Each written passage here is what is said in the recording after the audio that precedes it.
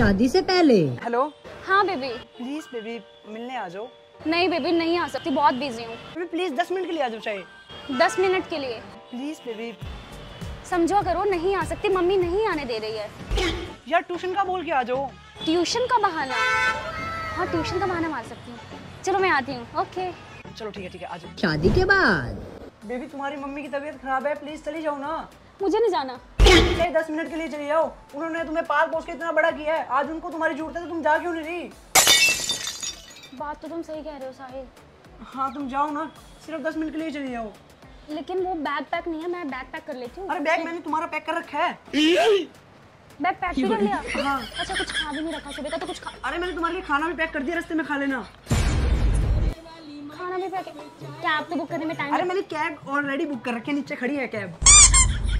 तो मैं जाऊँ फिर? हाँ तुम जाओ। ठीक है। बाय ध्यान रखना।